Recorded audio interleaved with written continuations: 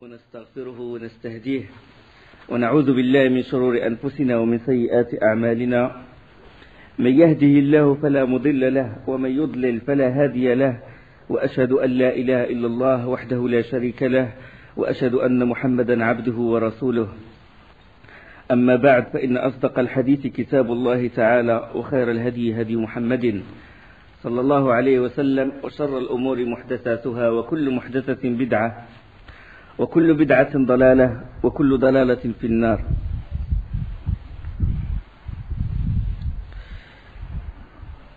On est arrivé à, à l'intervention de Nu'aym ibn Mas'ud radiallahu anhu, quand le prophète sallam il, il invoqua Allah subhanahu wa ta'ala pour, pour que, qu'une issue, pour, pour trouver une issue, pour trouver une solution à ce, euh, au, au, problème, au siège des, des, des mécréants. Et Allah subhanahu wa ta'ala, exauça le vœu du prophète sallallahu alayhi wa sallam euh, par l'intervention de Naïm ibn Mas'ud. Naïm ibn Mas'ud, à ce moment-là, s'est converti en islam. Et lui, il était dans le camp des mécréants, c'est-à-dire il était dans le camp de Quraysh. Et il est venu voir le prophète sallallahu alayhi wa sallam et il lui dit, je témoigne, la ilaha illallah, Muhammadur Rasulullah, et personne n'est au courant, sauf Allah, toi et moi. Le clan de Quraysh, il n'est pas au courant de ma conversion.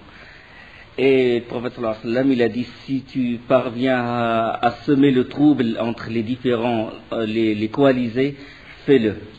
Et lui autorisa de même de mentir pour, euh, pour euh, casser cette, cette, alliance, pour défaire cette alliance. Et il est allé voir Bani les juifs de Bani Qurayda, et il leur a dit, les Quraysh, certes, ils s'apprêtent à combattre Mohammed, mais ça fait plusieurs jours maintenant qu'ils l'assiègent, mais sans résultat. En plus, eux, leurs familles sont loin, sont à l'abri. Par contre, vous, vous êtes à Médine et vous vous êtes ralliés à, à Quraysh et à Ratafan. Si jamais eux, ils rebroussent chemin, ils vont vous laisser euh, à Médine et vous n'avez aucune résistance contre Mohammed et ses compagnons. D'accord Il leur a dit ça. Il, a, les a mis dans le doute. Et ils lui ont dit qu'est-ce qu'on va faire?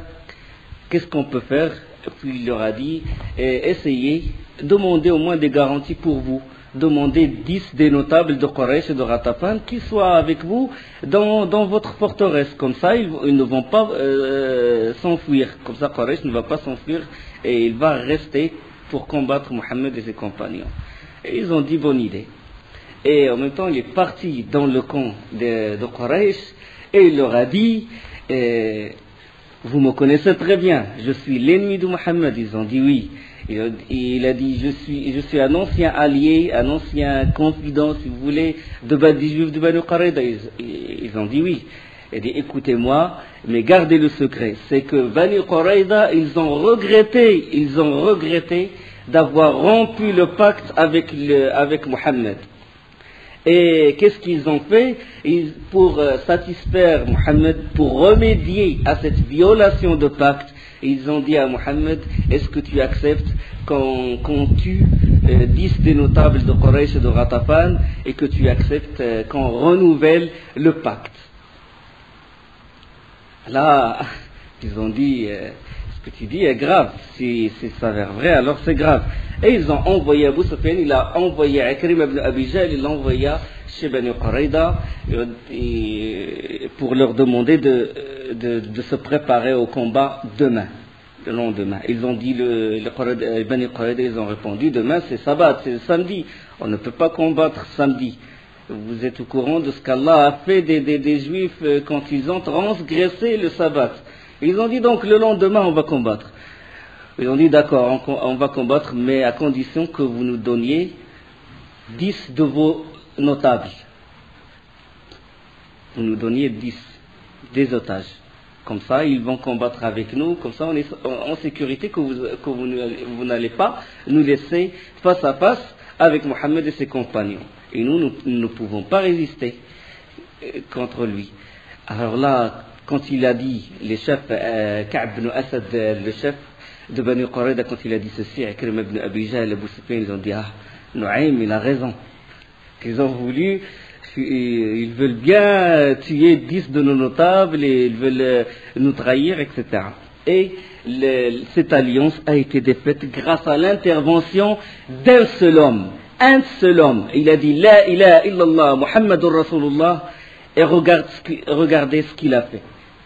Dix mille combattants parmi les Ratafan et les Quraysh, en plus les combattants de Bani Qurayda. L'intervention d'un seul homme a déjoué tout ce complot-là.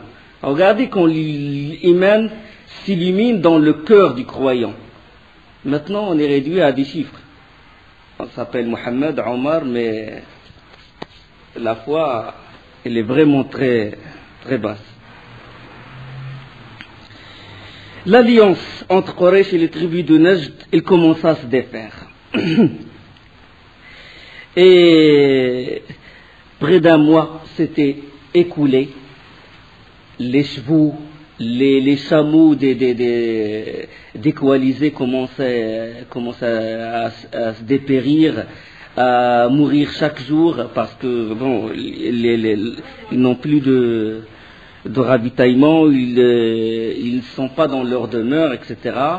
Et ils n'ont pas pu résister parce que 25 jours plus un mois de siège sans aucun résultat. Et alors là, les espoirs de Quraysh, les espoirs que les Quraysh avaient nourris en pensant à Médine, c'était, c'était évanoui. Et alors, en plus, ce qui les a fait désespérer davantage, c'est qu'il y avait un vent glacial, un ouragan, qui, qui a arraché leurs tentes, les, feux qu'ils allumaient, ils s'éteignaient vite, leurs hommes commençaient à se fatiguer, les chevaux ne tiennent plus le coup, et à la nuit venue, euh, une tempête exceptionnelle, il a fait rage dans la plaine, et le vent il soufflait en ouragan, comme j'ai dit. Et là, euh, du côté du camp du prophète le prophète il a senti qu'il y a quelque chose, qu'il y, aura un renversement des situations.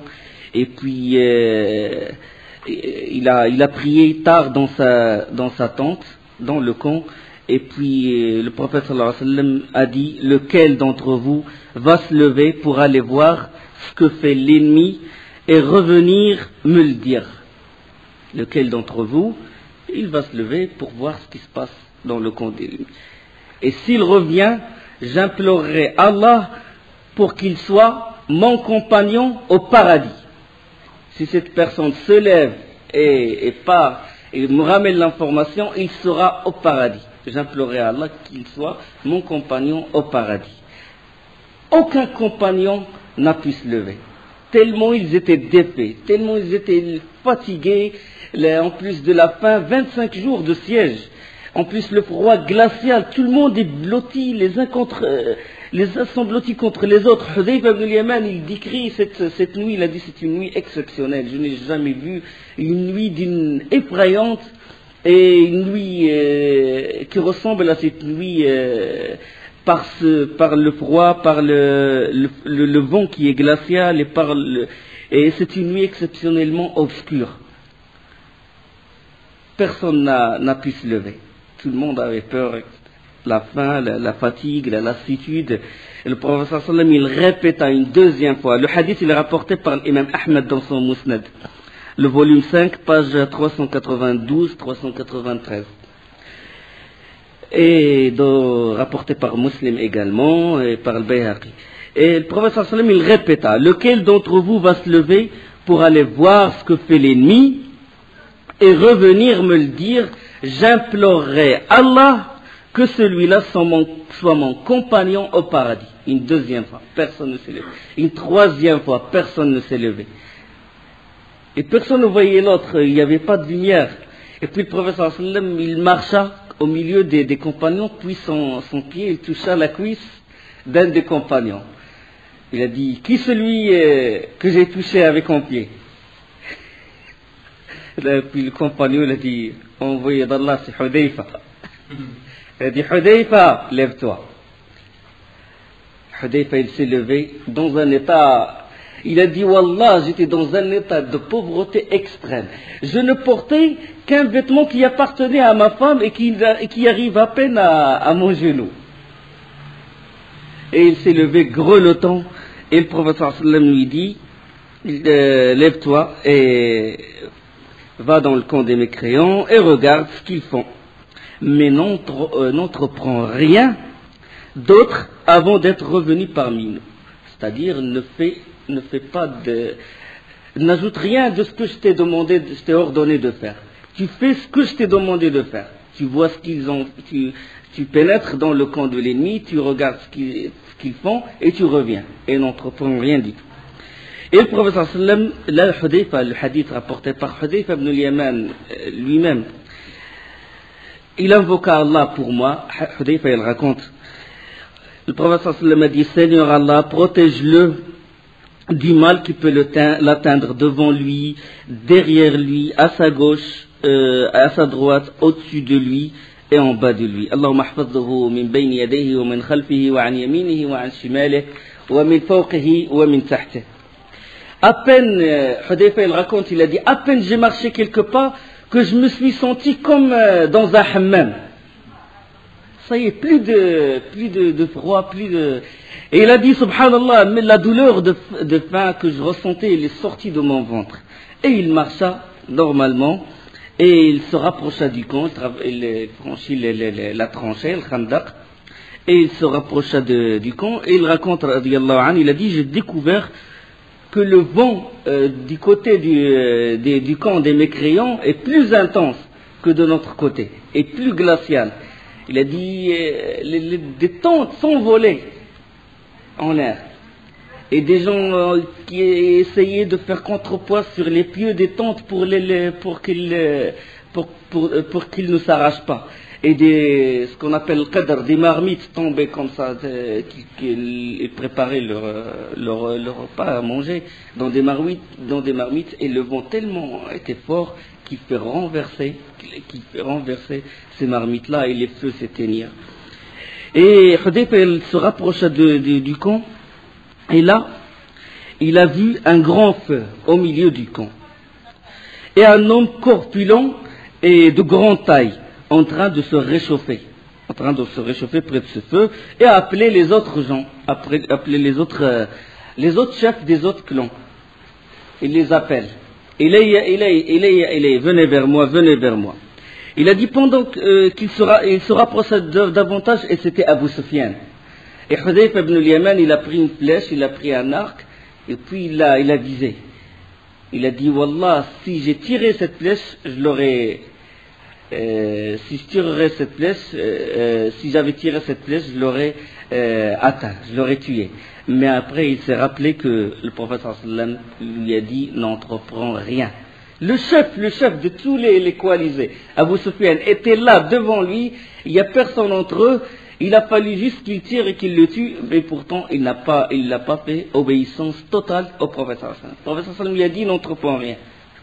Ramène-moi juste ce qu'ils sont en train de faire et puis il a remis sa place, et il, pénétra dans, dans le camp, au milieu des, au milieu des, des combattants de Quraysh et de Ratafan. Et il s'est assis au milieu d'eux. Et Abu Sufyan a dit, je vous ai réunis pour prendre une décision très importante. Une décision qui est très importante. Maintenant, chacun de vous qu'il regarde celui qui est à son côté. Il a eu peur qu'il y ait un espion, quoi que ce soit. Chacun de vous, il regarde celui qui est à, côté de lui. Comme ça, on est sûr qu'il n'y a que les chefs de, de Ratafan, de Quraysh, de Fazara, de Banu etc. Hudayfa, au milieu d'eux, qu'est-ce qu'il fait? Il a eu un moment de, de, lucidité, puis il a appelé celui qui est à sa droite, il a dit Qui tu es? Et puis la personne, il a dit Fils tel de fils, c'est à sa gauche. Et toi, qui tu es? Il a dit pistel de piste. Personne ne m'a posé la question. Moment de, de, lucidité. Et Abu Sufyan commença son discours. Oh, nos chameaux, nos chevaux sont en train de mourir. Les Bani Quraïda nous ont lâchés et là on nous a dit qu'ils cherchent à nous trahir.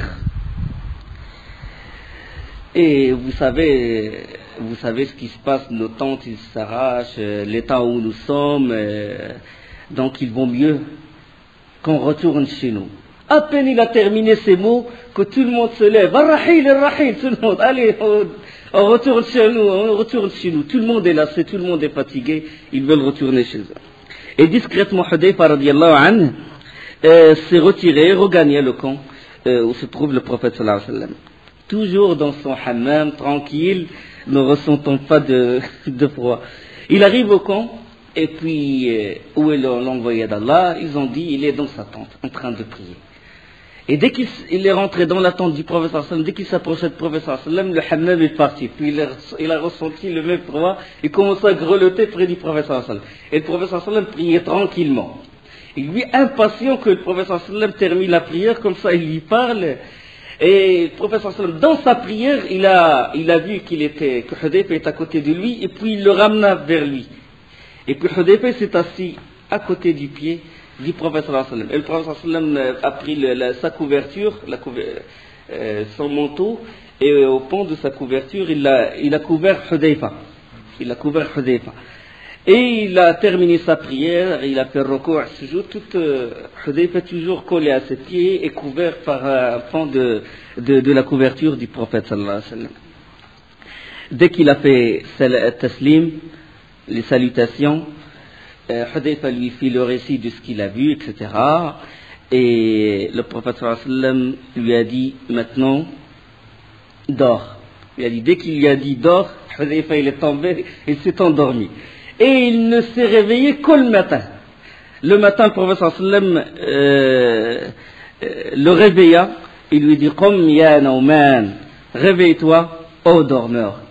Hudayfa il s'est réveillé, le, euh, le, calme, il a vu qu'il n'y a plus de vent, plus d'ouragan, le calme est revenu, il n'y a plus de siège, y a plus, et les, mécréants sont partis, et le calme est revenu, la, les, les, la, la sérénité, la, la, sécurité commence à, euh, il a commencé à ressentir une sérénité, et Allah subhanahu wa ta'ala a fait éloigner les mécréants. كفروا بغيظهم لم ينالوا خيرا وكفى الله المؤمنين القتال وكان الله قويا عزيزا الله سبحانه وتعالى il dit dans Sourate Al-Ahzab il dit et Allah a renvoyé avec leur rage les infidèles sans qu'ils n'aient obtenu aucun bien et Allah a épargné aux croyants le combat et Allah est fort et puissant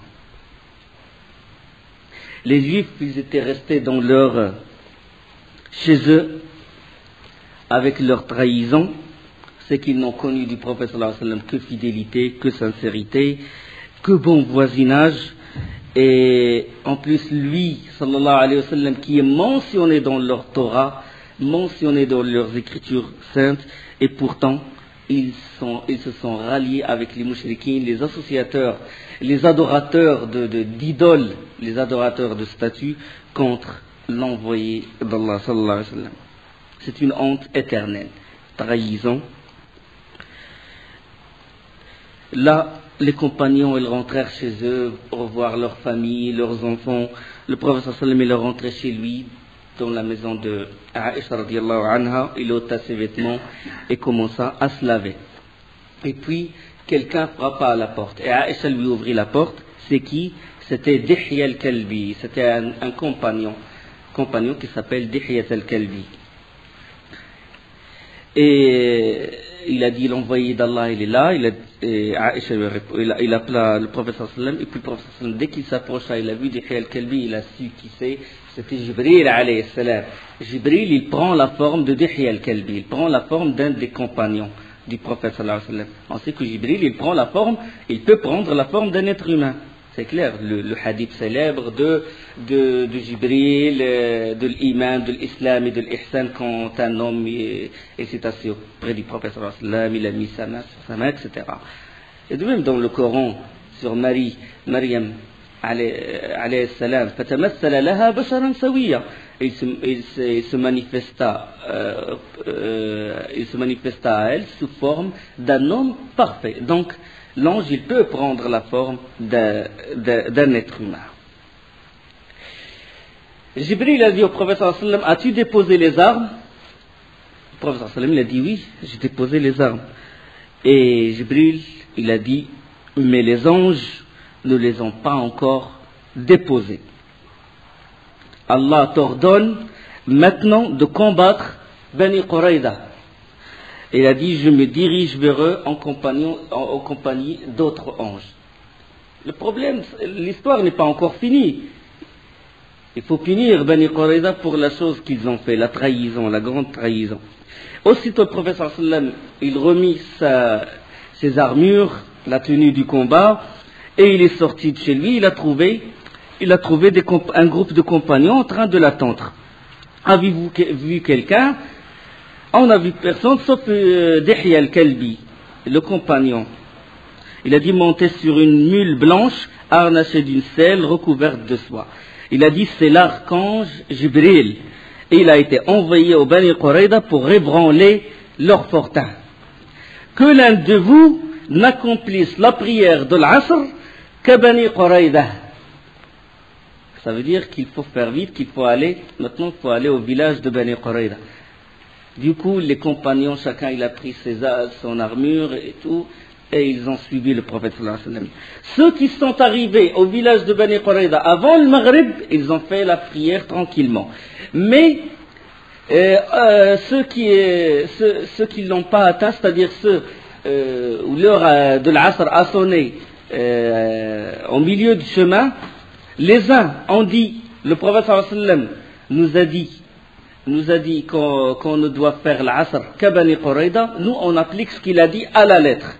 C'est-à-dire, on ne prie pas maintenant. Même si c'est l'heure de l'Asr, on ne prie pas, on ne fait pas l'Asr maintenant, on le fait qu'au village de Bani Quraida. Les autres ont dit non. La raison euh, pour laquelle le prophète nous a dit de prier à Bani, euh, de, ne pas faire la prière de l'Asr qu'à Bani c'était pour nous pousser à nous hâter. Le but c'était euh, qu'on fasse vite. Mais maintenant, l'heure est arrivée, on prie. Vous avez compris? C'est-à-dire les uns ont appliqué le, ce qu'a dit le prophète à la lettre et les autres ont dit que le, le, prophète a voulu de nous juste qu'on euh, se hâte. Donc une partie des compagnons ont fait l'asr à mi-chemin, les autres ne les ont fait qu'à après le coucher de soleil. Et le prophète il a confirmé les uns et il a confirmé les autres. Il n'a pas critiqué ni les uns ni les autres parce que les deux, leur but c'était quoi? C'était d'obéir à l'envoyé d'Allah. Le prophète s'approcha de leur forteresse, de la forteresse des Juifs. Il les appela. Et eux, du haut de leur forteresse, ils le regardaient. Ils savaient ce qu'ils ont, ce ont fait. Et le prophète sallam commença à les insulter. Et c'était très rare que le prophète sallam insultait quelqu'un. Il a dit, Ya, ya al-qiradata wal-khanazir, aux frères des cochons aux frères des cochons, aux frères des singes. Et c'était rare que le prophète sallam insultait quelqu'un. Il a dit, Allah ne vous a-t-il pas humilié et faire mériter son châtiment et eux commençaient à crier, oh, envoyé d'Allah, oh Abu, oh Abu qasim euh, jamais tu n'as été déraisonnable, oh Abu qasim on te connaît, une personne indulgente, etc. Il a dit, vous descendez, et le hadith il est rapporté par, il est dans Musannaf Abd al-Razzaq, le numéro 9737. le prophète l'a dit, vous descendez, vous vous soumettez à mon jugement. Je juge, je fais ce que je veux de vous. Trahison. Vous descendez de votre forteresse. Ah, ils ont dit non, non. Ils commencent à se consulter entre eux? Il a dit si on descend, ils vont nous tuer. Et puis ils commencent à, faire des pourparlers avec le professeur. Ils ont dit on va faire comme Bani, Bani Nadir. On va partir. Laissez-nous partir. On prend nos biens, notre argent, etc. Et on rentre chez, on, et on quitte, on quitte le village. Il a dit non. Puis ils ont dit on, euh, Mohammed, laisse, on va céder nos biens, on va céder nos chameaux, etc., nos champs, et on va partir sans rien. Il a dit non. Vous vous soumettez à mon jugement. Je juge sur vous euh, ce que je veux. Vous vous soumettez à ma sentence. Et les Bani Quraida, quand ils furent assiégés durant à peu près 25 jours, 25, 25 jours, selon certaines versions, Et ils demandèrent au prophète sallam de les laisser consulter un de leurs alliés. On sait que la tribu de l'Aus qui vivait à Médine est l'allié de, de Bani Quraida, tout comme le Khazraj était l'allié de Bani, Bani. Et le prophète sallam ordonna à Abu Lubaba, il ordonna à Abu, à Abu Lubaba de se rendre chez eux. Dès son arrivée, Abu est entré dans leur forteresse. Dès son arrivée, il fut frappé par le spectacle de femmes et d'enfants en pleurs, en train de pleurer, les femmes pleuraient, les enfants pleuraient, et puis les hommes, ils se levèrent vite de l'accueillir, et il était attendri par ce spectacle, par ce spectacle. Ils ont dit Abu devons-nous nous rendre, nous, nous rendre, euh, ou nous en remettre à la, à la sentence de Mohammed, ou à la décision de Mohammed, il a dit oui. Il a dit, oui, mais en même temps, il a, mis le doigt sur, sa, sur, sa, sur son cou. Il a dit comme ça. Ça veut dire que s'ils se livrent, ils vont être massacrés. Et Abu Lubaba, à peine il, il a fait ça, qu'il s'est senti, il a dit, ça y est, j'ai trahi Allah et son prophète. Il a dit, je, je me suis pas senti.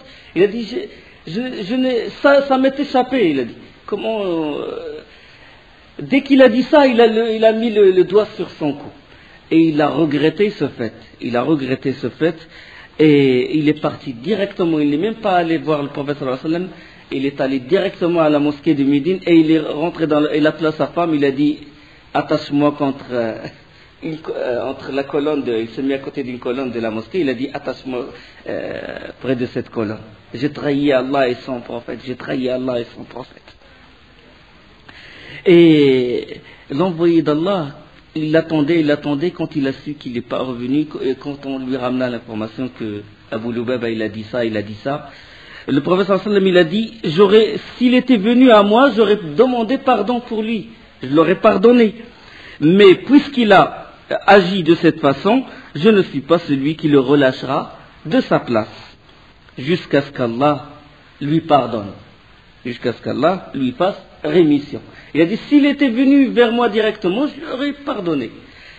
Et Abu Lubaba est resté attaché à cette, euh, à cette colonne de, la, de la mosquée. Il a dit jamais, il a dit jamais je ne trahirai Allah et son envoyé et jamais je piétinerai une terre un endroit où j'ai trahi Allah et son messager. C'est pour ça qu'il a quitté directement le village de Bani Quraida, il est allé directement à Médine. Il a dit, une terre où j'ai trahi Allah et son envoyé, je la, la piétinerai jamais.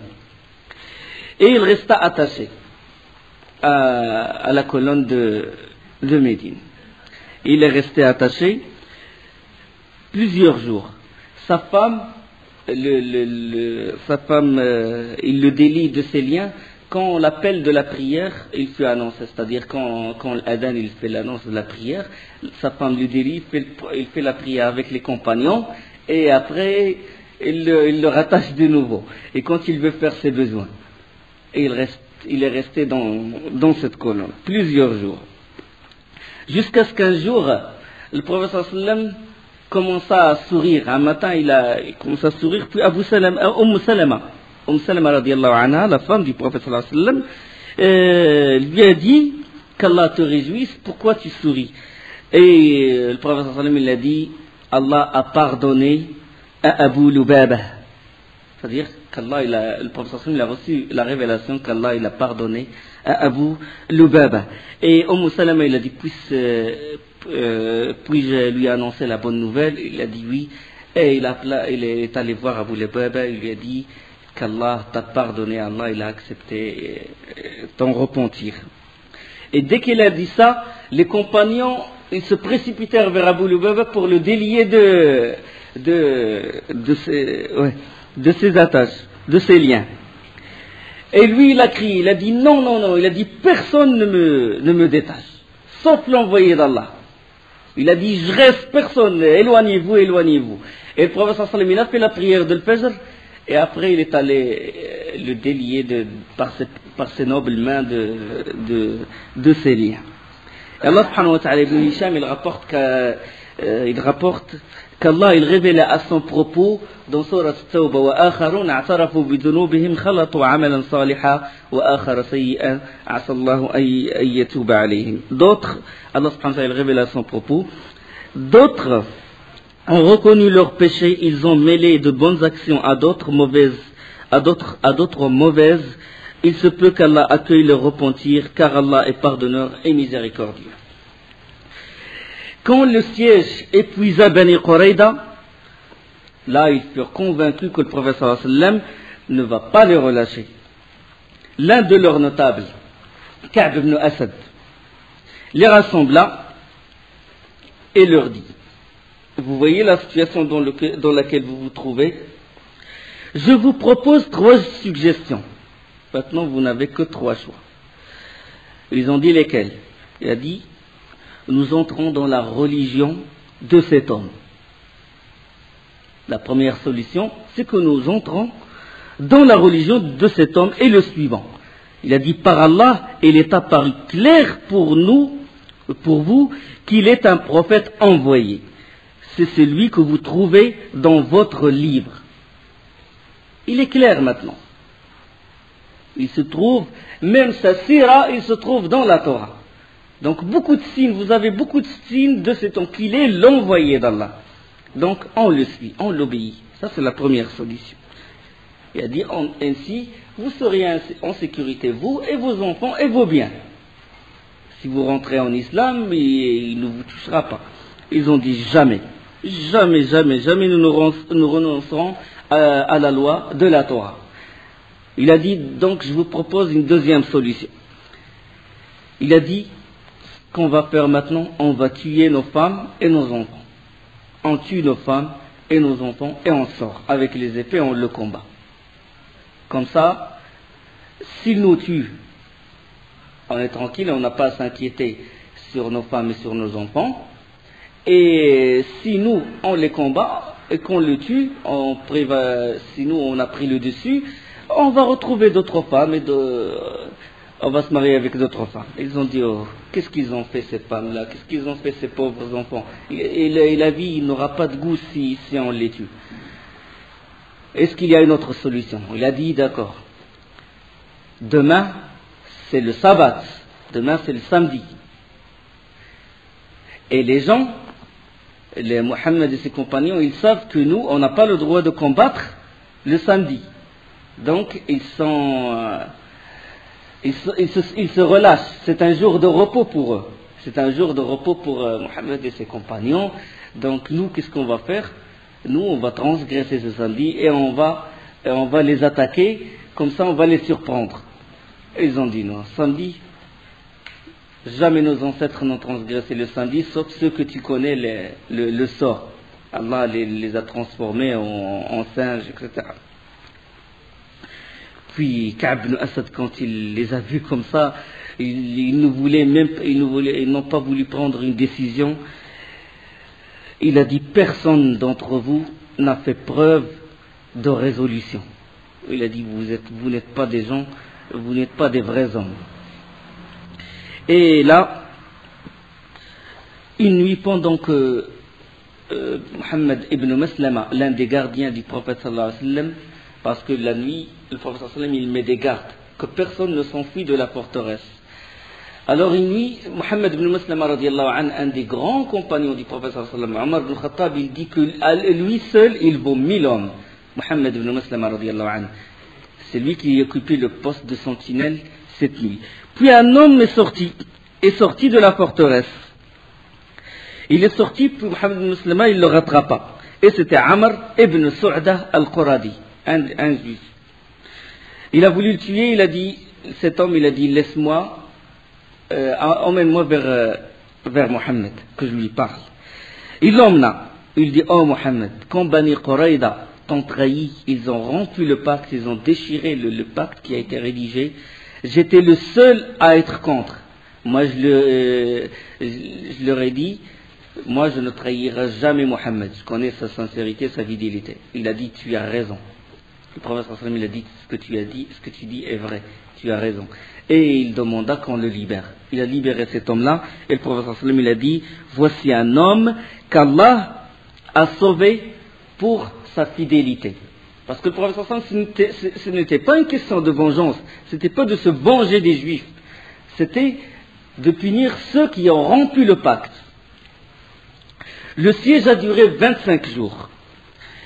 25 jours de siège, Ali radiallahu anhu a dit il faut en finir. Il faut euh, qu'on les attaque. Et il appela Zubair ibn al-Awwam radiallahu et un autre groupe de cavaliers. Ils ont formé un escadron, escadron de la mort. Ils ont dit on rentre, mais on ne revient pas. Ou bien on tombe, shuhada fi sabilillah, martyr fi sabilillah, ou bien euh, euh, ou bien on, les, euh, on prend la forteresse. Et ils ont formé cet escadron, et puis ils, ils foncèrent directement vers la forteresse. Les autres, les juifs, regardaient de haut. Dès qu'ils les ont vus accélérer pour entrer dans la forteresse, commençaient à crier Oh Mohammed, oh Mohammed, on se soumet, on se soumet à ton ordre. Et le prophète sallam l'a dit Vous vous soumettez? D'accord. Et ils sont descendus. On ligota les hommes, 700, selon des versions 800 hommes, selon des versions 900 hommes. On les ligota, les femmes et les enfants furent mis dans un endroit et les hommes dans un autre endroit. Et les hommes les mains liées derrière le dos, un espace il fut réservé. Et là, les Haus, la tribu du Haus, ils ont dit au prophète sallam, envoyé d'Allah, cela était nos alliés.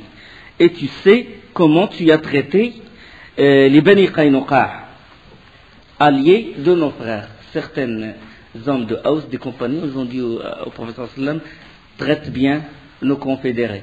Tu sais ce que tu as fait de Bani Qaynuqa, les confédérés de, de Khazraj. On sait que Bani Qaynuqa, c'était la, tête des hypocrites, Abdullah ibn Ubay ibn Salul, qui intercéda à leur faveur. Hein, et que le professeur sallam euh, les a libérés. Et là, mais là, quand ces personnes-là de la tribu de Haus sont venues voir le professeur là, la situation est différente. Certes, les Bani Qaynuqa, ils ont déshabillé une femme, ils ont tué un compagnon. Les Bani Nadir, ils ont voulu tuer le professeur ils, veulent jeter, ils ont voulu jeter une meule euh, pour le tuer, alors qu'il était assis près de leur maison. Mais la trahison de Bani Quraïda était grave. C'était une ouverture du sud-ouest, du sud-est, et c'était, laisser le passage à Ratafan, Fazara, à 10 000 ans pour rentrer, pour, euh, pour conquérir tout Médine. Donc la question elle diffère là. Puis le prophète sallam leur a dit, leur a dit, serez-vous satisfait, homme de Haus, si c'est l'un de vous qui prononce la sentence? Je vais donner le pouvoir à l'un de vous. Et c'est lui qui prononce la sentence. Ils ont dit bien volontiers. Il a dit alors ce sera Saad ibn anhu. Et ils ont dit Saad ibn Mu'ad, on est d'accord. L'information elle parvint aux juifs de Bani Qarida. Ils ont dit ah, Saad ibn Mu'ad, si c'est Saad ibn Mu'ad, ah, c'est notre allié, c'est notre ami Saad ibn Mu'ad. Et Saad ibn Mu'ad, il est où? Saad ibn Mu'ad, il est dans la mosquée, il est dans la mosquée du prophète dans une mosquée, dans la tente de, de assisté par Rufayda radiallahu anha, parce qu'il a été touché à l'épaule. On sait qu'il a été touché par une flèche à l'épaule. Et c'est pour ça qu'ils disent que Rufayda c'était la première infirmière de l'islam. Parce que c'est elle, a dressé une tente à l'intérieur de la mosquée pour accueillir tous les blessés, pour assister tous les blessés. Et Saad Mu'ad était en train d'invoquer Allah, dans cette tente, en train d'invoquer Allah, subhanahu wa ta'ala. Il dit, Seigneur Allah, s'il y a encore une bataille contre Quraysh, laisse-moi en vie. Laisse-moi en vie parce qu'il n'y a pas de gens que désirent combattre, que ceux qui ont fait du tort à ton messager l'ont démenti et l'ont banni. Mais s'il n'y a pas de, confrontation avec Quraysh, alors prends mon âme comme martyr, fils dans ta voie. Mais ne prends mon âme que si tu me montres quelque chose qui rafraîchit mes yeux, punir Bani Quraida. Punir Bani Quraida. Et Allah exauça son dua. Une partie de ce hadith se trouve dans Sahih al-Bukhari. Allah exauça son invocation et le prophète demanda qu'on qu'on ramène Saad ibn Mu'ad radiyallahu anhu. Il était tellement blessé qu'il ne peut pas monter, qu'il ne peut pas marcher et qu'il ne peut pas et qu'il ne peut pas monter sur, une, sur un cheval ou sur, euh, euh, ou sur euh, un chameau. Euh, donc ils ont fait, ils l'ont mis dans une, vous voulez une paillasse, c'est bon, une paillasse, et, et ils l'ont mis sur un âne et ils l'ont ramené au camp de l'envoyé d'Allah. Et l'ont ramené au camp se trouve le prophète sallallahu alayhi wa sallam. Et dès qu'il qu'il il s'approcha, le prophète sallallahu alayhi wa sallam a, dit levez-vous. Il a dit levez-vous pour accueillir votre chef. Et en chemin, déjà, les notables de Haus, ils multipliaient leurs demandes. Ils ont dit, Abu Amr, traite bien tes confédérés. Car si l'envoyé d'Allah t'a désigné pour prononcer un jugement, c'est uniquement pour que tu te montres indulgent à leur égard. Chacun il dit euh, traite, traite bien tes confédérés, traite bien tes confédérés. Et Saad ibn Mu'ad ne cesse de dire le moment est venu pour Saad, le moment est venu pour Saad euh, pour ne se préoccuper du blâme d'aucun blâmeur. لقد آن لسعد ألا تأخذه في الله لومة, لومة لائم L'heure est maintenant venue pour Saad, euh, de la cause d'Allah, de ne pas se préoccuper de, du blâme de celui qui blâme.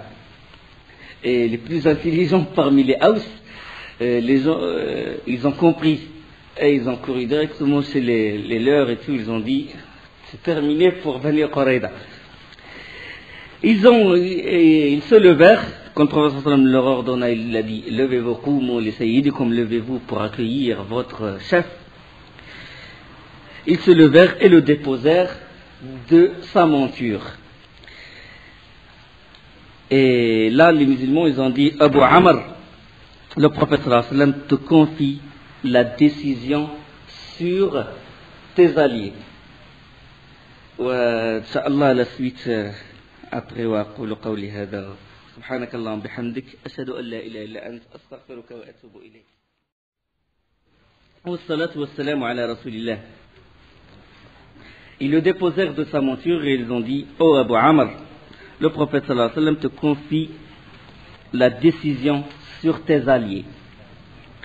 Puis Saad se tourna vers les notables de Haus, il a dit Allez-vous vous engager à respecter la sentence que je rendrai au Haus Ils ont dit Oui, nous nous engageons. Allez-vous vous engager à respecter la sentence que je rendrai au Khazraj? Les Khazraj, ils ont dit oui. Et ils se tourna vers les immigrants, la même chose, ils ont dit oui. Et puis il, euh, il jeta un regard en direction du prophète sallam, il a dit Et celui qui est à côté de moi, sera-t-il lié? Il n'a pas voulu dire euh, mon jugement s'appliquera sur le prophète sallam, où il dit que le prophète doit respecter ma sentence, etc. Par respect au prophète il a dit Et celui qui est à côté de moi sera-t-il lié? Et le prophète a dit Oui, certes, moi. Il a dit Je juge donc. Je juge donc que les hommes seront mis à mort, tous, selon des versions 700, 800 ou 900. Les biens partagés et les femmes et les enfants pris en captivité.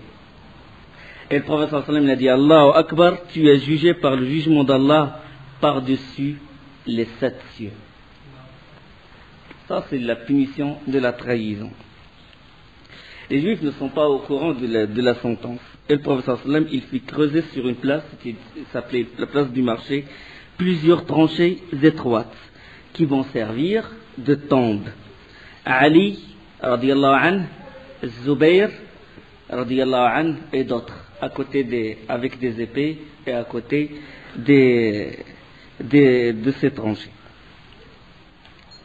Et puis, on appela dix hommes. On ramena les dix hommes, exécution, dix têtes tranchées par terre, dans la tranche. Et les, comp- euh, les, les, comp- euh, les- euh, Asad, son tour n'est pas encore arrivé. Et il y a du monde autour de lui, avec les autres juifs, ils ont dit Oh Ka'b, qu'est-ce qu'ils sont en train de nous faire? Qu'est-ce qu'ils sont en train de faire? Il a dit à chaque fois, à chaque fois vous ne raisonnez pas. Vous voyez bien qu'ils appellent dix personnes et quand ces dix personnes partent, ils ne reviennent plus. C'est le massacre. Et euh, au cours de ces, de, ces, de, ces, exécutions, il y avait un homme, un juif, un vieillard aveugle qui s'appelle Zubair ibn Bata. Et Ibn Ishaq, il rapporte qu'il était un de- des notables de, de Bani. Et qu'est-ce qu'il a fait lors, des guerres tribales, ça c'est avant l'islam, lors des guerres tribales entre l'Aus et le Khazraj, la guerre de Bou'at, euh, il épargna la vie à Thabit ibn Qais ibn Shammas. Thabit ibn Qais ibn Shammas était jeune, était un enfant à l'époque. Il l'acheta et le libéra. Et puis, euh, après l'islam, les deux hommes se rencontrèrent. Euh, Zubair ibn Bata, on va l'emmener pour l'exécuter. Et c'était euh, ibn Qais ibn Shammas qui va le ramener. Puis il lui dit, me reconnais-tu? Ibn. Il a dit, me reconnais-tu Il a dit, comment un homme comme moi peut-il oublier quelqu'un comme toi a répondu Zubair. Et Thabit ibn Qais l'a dit, je désire te rendre service pour le bien que tu m'as fait. Et l'homme, il a dit, l'homme noble rend l'appareil. C'est-à-dire, inna al-karim yajzi al-karim. L'homme noble, il rend par la noblesse, il rend l'appareil. Alors Thabit, il a trouvé le professeur sallam, il a dit, envoyé d'Allah, je suis redevable à Zubair d'un bienfait qu'il m'a dispensé. Je désire m'acquitter envers lui. Accorde-moi sa vie. Le professeur sallam accepta. Il a dit, il est à toi. Puis Thabit a la, ibn il a, il a apporté la nouvelle à Zubair. Et puis Zubair il a dit, un vieillard comme moi, privé de sa famille et de ses enfants, qu'a-t-il besoin de, de sa vie? Qu'a-t-il besoin de l'aide? Et le Thabit, il alla voir le professeur sallam, il a dit, envoyé d'Allah, comme mon père et ma mère euh, te servent de rançon, accorde-moi sa femme et ses enfants. Il a dit, c'est entendu, ils sont à toi. Et puis il a demandé ses biens. Et puis le professeur sallam, il a dit, on lui rend sa femme, ses enfants et ses biens. On lui rendit tout. Et puis là, Zubair ibn il a dit, qu'est-il devenu Ka'b ibn Asad Il a dit, il a été tué. Il est tué. Huyay ibn Akhtab. On sait que Huyay ibn Akhtab, c'est celui qui est allé voir Ka'b ibn Asad pour le rallier avec, avec Quraysh et Ratafan. Et il a fait, il a juré, il a dit que si vraiment, si Quraysh et Ratafan, ils rebroussent chemin et te laissent tomber, moi je reste avec toi euh, dans ta forteresse. Et là, il a tenu sa promesse et il est resté. Euh, Zubair, a dit, qu'est devenu Huyay ibn Akhtab? Il a dit, il est tué. Qu'est devenu tel? Il est tué. Qu'est devenu tel? Il est tué. Puis il a dit, par Dieu, Thabit, et par le droit que j'ai sur toi, je te demande de m'envoyer rejoindre les miens. Car maintenant qu'ils sont partis, il n'y a plus rien de bon dans la vie. Euh, au début, Thabit, il refusa, mais l'homme, le vieillard, il, euh, il insista. Il a dit, je veux rejoindre mes bien-aimés. Et, en apprenant euh, le vif désir de, les rejoindre, Abu Bakr a dit, il les retrouvera par Allah dans le feu de la géhenne éternellement. Durant, ces, durant cette, cette, cette, histoire, un jeune juif, et parce que le professeur l'a dit, tous, tous les hommes, c'est-à-dire tous les mâles pubères, un jeune juif, il vient d'être pubère d'être durant ce siège-là, le pauvre. Il s'appelle Rifa'a ibn Samaw'al. Rifa'a ibn Samaw'al. Il vient d'être pubère. Et dès qu'il a su qu'on va l'emmener pour, lui couper le cou, la tête, il s'accrocha à une femme des compagnons du prophète sallallahu alayhi wa sallam. Elle s'appelle Selma, Selma bint Qais Umm al-Munzir, il s'accrocha à elle. Il a dit sauve-moi, sauve-moi. Wallahi, je vais faire la prière. Wallahi, je vais faire salat. Wallahi, je mangerai la viande des, des chameaux. Parce a certains juifs qui s'interdisent de manger la viande des chameaux. Et puis, euh, cette femme, anha, elle a, voir, euh, elle a trouvé le prophète il a dit envoyé d'Allah, que nous te servirons de rançon, mes parents et moi. Accorde-moi, rifa'a. Il m'a promis qu'il priera et il m'a promis qu'il euh, ne s'interdira pas la viande, la viande du chameau. Et le prophète sallam accepta. Et cet homme, il a prié, il, a embrassé l'islam et est devenu un des grands savants musulmans. Et dans des, quand il fait des cours, des leçons, quand il veut jurer, il dit par celui qui m'a sauvé la vie le jour de Quraïda. Il dit par Allah, il dit par celui, par Allah qui m'a sauvé le jour de Quraïda. Quant aux femmes, aucune d'elles ne fut touchée, sauf une. Une, une femme. Aïcha, elle raconte. Elle raconte que, cette femme a été exécutée. Elle a dit, cette femme, elle me parlait et riait. Elle basculait du dos et du ventre par le rire. Alors que l'envoyé d'Allah ex- exécutait ces hommes. Tout à coup, on l'appela en criant Où, où est-elle, fille de telle Et puis Aïcha lui a dit Malheur à toi, qu'as-tu Qu'est-ce que tu as fait? Il a dit La femme lui a dit On va me tuer. Et pourquoi Aïcha lui dit Pourquoi Il a dit Parce que j'ai fait ce que. Elle a tué un des compagnons. Il a jeté une meule euh, sur un des compagnons qui s'appelle Khalad ibn radiallahu anhu. Et Aïcha, il dit par Allah, je n'oublierai pas euh, sa bonne humeur et son hilarité alors qu'elle savait qu'elle allait mourir. Donc tout ce hadith, il est rapporté par l'imam Ahmad, volume 6, page 277, par Abu Dawud, al-Bayhaqi ibn Hisham, al-Hakim, wa Tabarani- wa Tabari fi tarikh.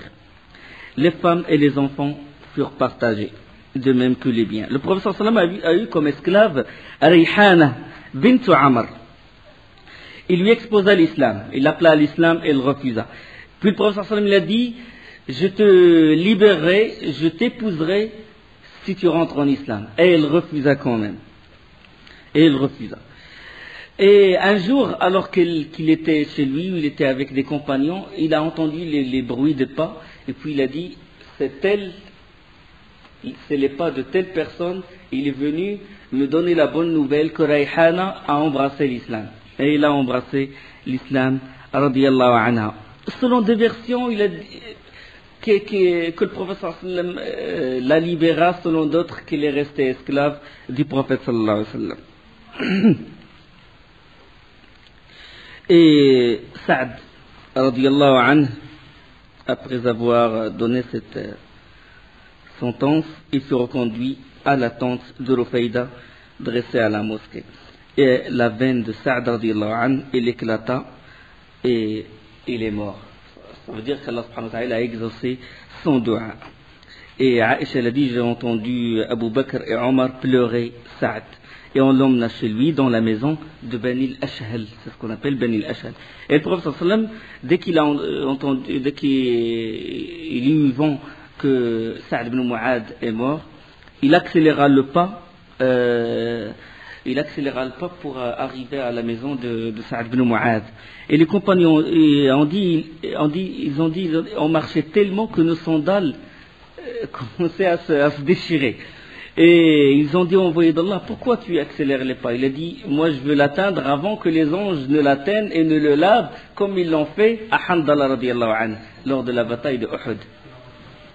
Le hadith il est rapporté par Ibn Sa'd et Abd al-Razaq, et Tirmidhi et al-Hakim. C'est un hadith authentique. Et avant, déjà avant de l'enterrer, les, com- les compagnons l'ont mis dans le, je sais pas comment on appelle ça, où on met le mort, la, civière, si vous voulez. Quand ils l'ont soulevé comme ça, ils ont dit envoyé d'Allah, on ressent pas, on ressent rien du tout. On ne ressent pas le poids. Il a dit que c'est, le professeur Sallam leur a dit que c'est les gens, les anges l'aident, les- vous aident. Les anges le portent avec vous. Et les anges, c'est-à-dire, ont porté les, euh, avec les, compagnons.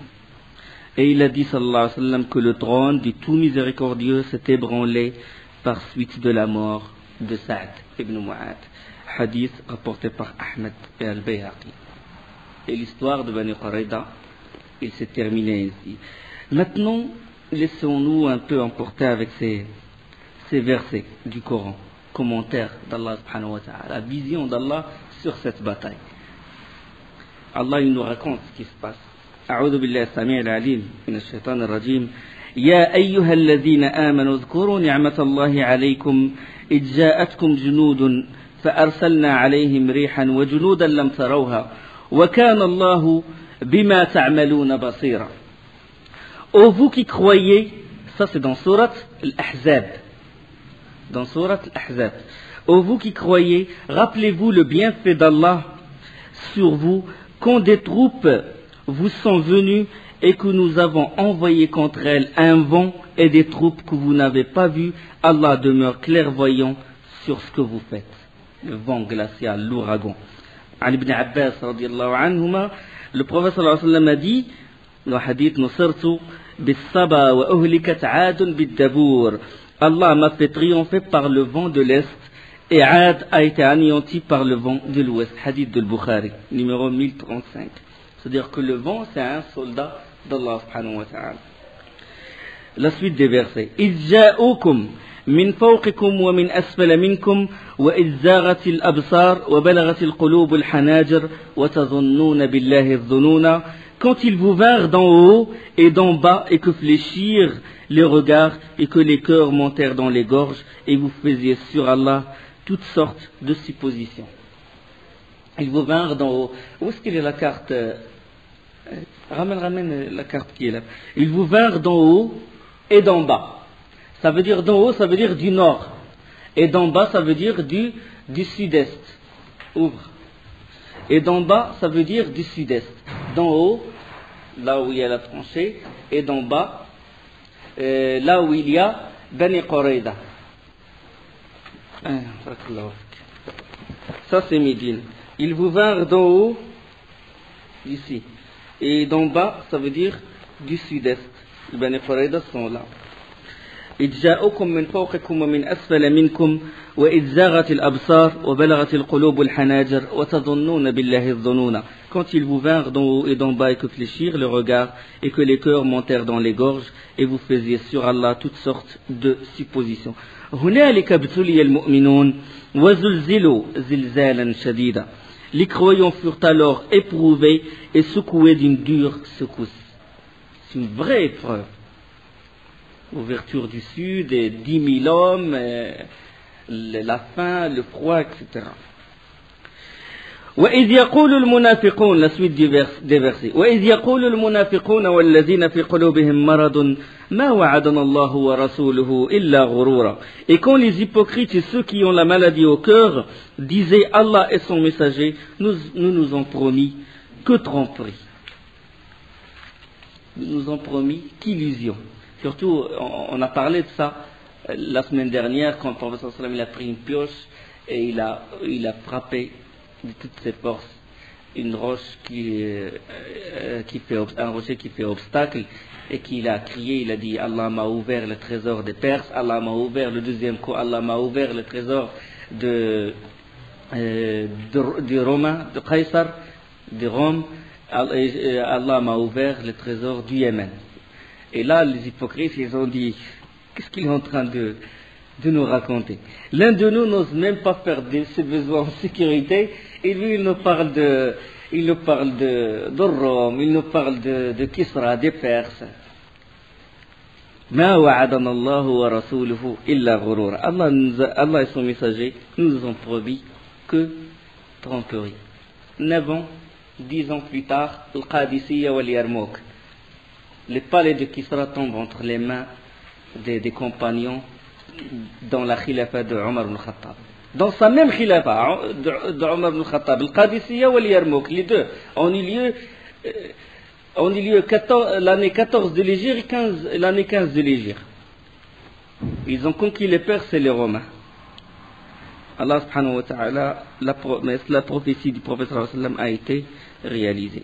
وإذ قالت طائفة وإذ قالت طائفة منهم يا أهل يا أهل يثرب لا مقام لكم فارجعوا ويستأذن فريق منهم النبي يقولون إن بيوتنا عورة وما هي بعورة إن يريدون إلا فرارا De même, un groupe d'entre eux dit, Jean de Yathrib, Yathrib ça veut dire Médine, Jean de Yathrib, ne demeurez pas ici, retournez chez vous. Ça, c'est les hypocrites qui sont en train de dire ça. Retournez chez vous. Un groupe d'entre eux demande au prophète la permission en disant nos demeures sont sans protection, alors qu'ils ne l'étaient pas. Ils ne voulaient que s'enfuir. Ils ne voulaient pas aider les compagnons. Ils veulent juste s'esquiver en cachette et aller chez eux sans participer, euh, sans aider les compagnons pour creuser cette tranchée.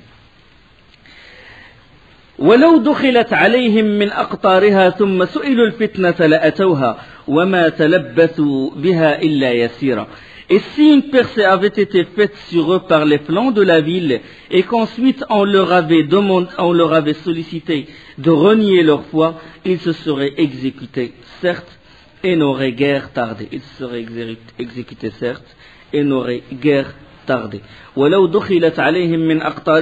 et si une percée avait été faite sur eux par les flancs de la ville, ça veut dire du nord, par les flancs de la ville, ça veut dire du nord et du sud-est et qu'ensuite on leur avait demandé de renier leur foi. Ça, c'est les hypocrites.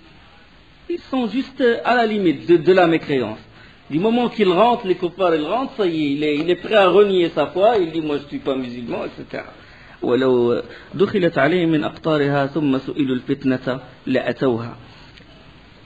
Et qu'ensuite on leur avait sollicité la fitna, ça veut dire de renier leur foi, ils se seraient, ils se seraient exécutés. ولقد كانوا عاهدوا الله من قبل لا يولون الأدبار وكان عهد الله مسؤولا tandis qu'auparavant ils avaient pris l'engagement envers Allah qu'ils ne tourneraient pas le dos et il sera demandé compte de tout engagement vis-à-vis d'Allah tout engagement vis-à-vis d'Allah Allah va leur demander compte ils ont ils ont promis qu'ils sont engagés pour aider pour euh, pour ne pas tourner le dos. قل لن ينفعكم الفرار قل لن ينفعكم الفرار إن فررتم من الموت أو القتل وإذا لا تمتعون إلا قليلا قل لن ينفعكم الفرار إن فررتم من الموت أو القتل وإذا لا تمتعون إلا قليلا Dis, dis à rien ne vous servira de fuir que vous fuyez mort sans combat ou mort dans le combat, de toute façon, vous nous réjouissez, vous nous réjouissez, vous nous réjouissez de la vie que peu de temps.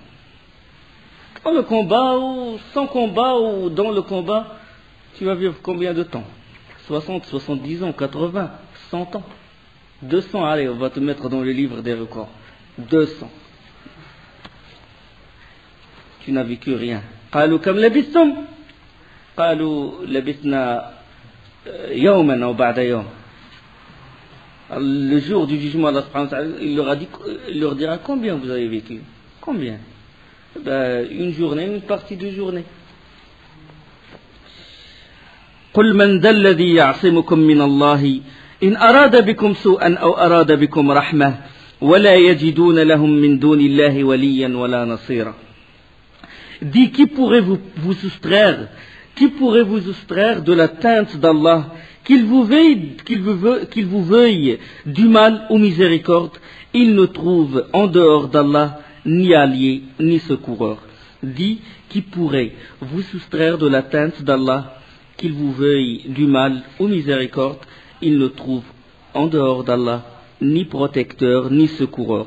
قد يعلم الله المعوقين منكم والقائلين لإخوانهم هلم إلينا ولا يأتون البأس إلا قليلا certes Allah connaît parmi vous les dresseurs d'obstacles et ceux qui disaient à leurs frères venez à nous tandis qu'ils ne, déploient que peu d'ardeur au combat ça il parle toujours des hypocrites. أشحة عليكم فإذا جاءهم الخوف فإذا جاء الخوف رأيتهم ينظرون إليك تدور أعينهم كالذي يخشى عليه كالذي يغشى عليه من الموت أشحة عليكم فإذا جاء الخوف رأيتهم ينظرون إليك تدور أعينهم كالذي يغشى عليه من الموت avare à votre égard puis quand vient le moment de la peur tu les vois te regarder roulant des yeux comme livrés à l'habitude de la mort عدو toujours منافقون فإذا ذهب الخوف سلقوكم بألسنة حداد أشحة على أشحة على الخير أولئك لم يؤمنوا أولئك لم يؤمنوا فأحبط الله أعمالهم وكان ذلك على الله يسيرا Une fois la peur passée, ils vous la serrent avec des langues affilées, alors qu'ils sont chiches à faire le bien. Ceux-là n'ont jamais cru. Allah subhanahu wa ta'ala dit, ceux-là n'ont jamais cru. Allah donc rend vaines leurs actions. C'est pour lui bien facile, pour Allah bien facile. يحسبون الأحزاب لم يذهبوا يحسبون الأحزاب لم يذهبوا وإن يأتوا الأحزاب وإن يأتي الأحزاب يودون لو أنهم بادون في الأعراب يسألون عن أنبائكم ولو كانوا فيكم ما قاتلوا إلا قليلا Ils pensaient que les coalisés ne sont pas partis. Ils avaient peur, ils sont rentrés chez eux, les hypocrites, et ils se sont cachés, et après, ils étaient au courant de rien. Ils ne savaient pas que les, que les coalisés, Ratafan, Ben Rafazar, Quraysh, ils sont partis. Ils étaient encore cachés avec leurs femmes et leurs enfants. Ils pensaient que les coalisés ne sont pas partis. Or, si les coalisés attaquaient, Allah regarde, Allah subhanahu wa ta'ala, il parle ce qu'il y a dans leur cœur et ce qu'ils voulaient faire. Or, si les coalisés attaquaient, eux se voudraient au désert parmi les Bédouins et se contenteraient de demander de vos nouvelles. Euh, S'ils demeuraient parmi vous, ils ne combattraient que très peu. Ils préfèrent euh, errer avec les Bédouins et demander aux gens qu'est-il devenu tel, qu'est-il devenu tel, qu'est-il devenu tel. Et ils ne combattraient que très peu. لقد كان لكم لقد كان لكم في, في رسول الله أسوة حسنة لمن كان يرجو الله واليوم الآخر وذكر الله كثيرا. Vous avez dans le messager d'Allah un excellent modèle à suivre, un excellent modèle à suivre pour quiconque espère en Allah et au jour dernier et invoque Allah fréquemment. ولما رأى المؤمنون الله سبحانه وتعالى parle مؤمنين. ولما رأى المؤمنون الأحزاب قالوا هذا ما وعدنا الله ورسوله وصدق الله ورسوله وما زادهم إلا إيمانا وتسليما. Et quand les croyants virent les coalisés, ils dirent Voilà ce qu'Allah et son, et son nom et son messager nous avaient promis. Et Allah et son messager disaient la vérité, et cela ne fit que croître leur iman et leur soumission. Leur foi, iman et leur soumission.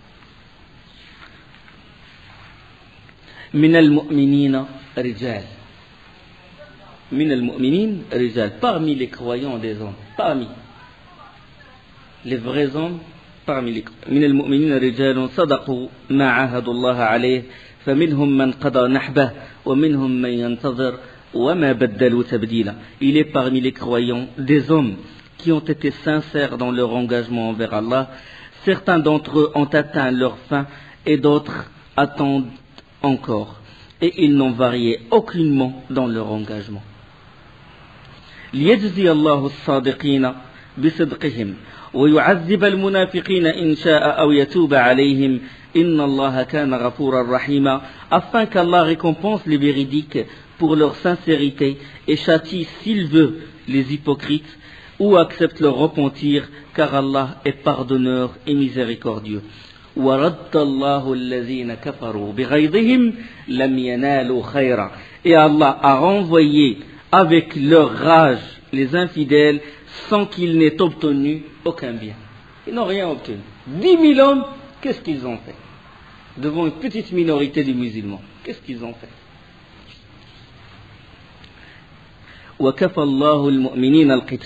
Et Allah a épargné aux croyants le combat. Pas beaucoup de tués. Parmi les shuhada, il y avait qui Saad ibn Mu'ad, il y avait Anas ibn Mu'ad, ibn Aus, il y a Sa'laba, ibn Asma. وكفى الله المؤمنين القتال وكان الله قويا عزيزا. Allah est fort وأنزل الذين ظاهروهم من أهل الكتاب. وأنزل الذين ظاهروهم من أهل الكتاب من صياصيهم. وقذف في قلوبهم الرعب. وأنزل الذين ظاهروهم من أهل الكتاب من صياصيهم وقذف في قلوبهم الرعب. Et il a fait descendre de leur forteresse ceux des gens du livre qui les avaient soutenus. Qui? بني قريدة Et il a jeté l'effroi dans leur cœur. فريقا تقتلون وتأسرون فريقا فريقا تقتلون وتأسرون فريقا un groupe d'entre eux un groupe d'entre eux vous tuez et un groupe vous faisiez prisonniers tuez 700 800 jusqu'à 900 selon les versions prisonniers les femmes et les enfants وأورثكم وأورثكم أرضهم وديارهم وأموالهم وأرضا لم تطئوها وكان الله على كل شيء قديرا et il vous a fait hériter leurs terres, leurs demeures, leurs biens, et aussi, et aussi une terre que vous n'aviez point foulée, et Allah est omnipotent. Et Allah est omnipotent. Donc on ne peut pas comprendre ces versets-là que si on comprend la sira du prophète. Donc, pour comprendre les versets, quand vous lisez maintenant Surat Al-Ahzab, vous avez devant vous ce qui s'est passé durant l'Ahzab et ça facilitera la lecture de ces versets et même si vous voulez apprendre par cœur ces versets, ce sera facile. Parce que la sira, elle explique la sira, la vie du prophète, la sira du prophète, elle explique le Coran. Donc récapitulons, la bataille de Badr, elle parle de quoi? La bataille de Badr, c'était quelle surat C'était surat Surat al-Anfal. Hein? إذ يغشيكم النعاس أمنة منه ونزل عليكم من السماء Donc, surat al-Anfal, surat le butin. Et euh, la bataille de Uhud, c'est Al-Imran, à partir des versets 120 de Al-Imran. Et même ce qui s'est passé à Bani Qaynuqa, c'était deux, trois versets de Al-Imran, les débuts. Ça doit être les versets 10, 11. Et, la bat et Bani Nadir, l'expulsion des Juifs de Bani Nadir, c'était dans quelle surat Dans surat Al-Hashr. Dans surat Al-Hashr. Et quoi encore? Quoi encore? Après la, à part la bataille de Bani Nadir. Bani, euh, la bataille euh, Bani al-Mustaliq. On a parlé. L'affaire de la diffamation, de la diffamation quand ils ont accusé Aïcha d'adultère, se trouve dans Surat Nour. On va trouver ça dans Surat Nour. Et de même, ce qui s'est passé quand les, hypocrites, quand Abdullah ibn Ubay ibn Saloul a dit que le plus puissant, le plus élevé va chasser le plus, le plus faible et le plus bas, c'était Surat al-Munafiqun. D'accord? Surat al-Munafiqun. Et Ghazwat al-Ahzab, Surat al-Ahzab. La, la Surat décoalisée.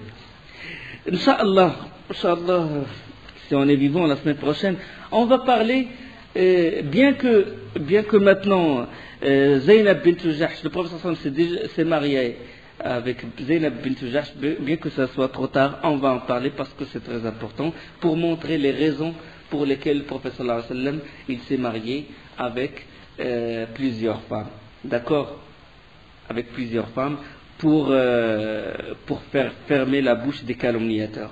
D'accord donc on va parler de ça parce que c'est les versets qui parlent de, ce mariage du prophète avec Zainab bint Jahsh. Euh, on va le trouver dans Surat Al-Ahzab également.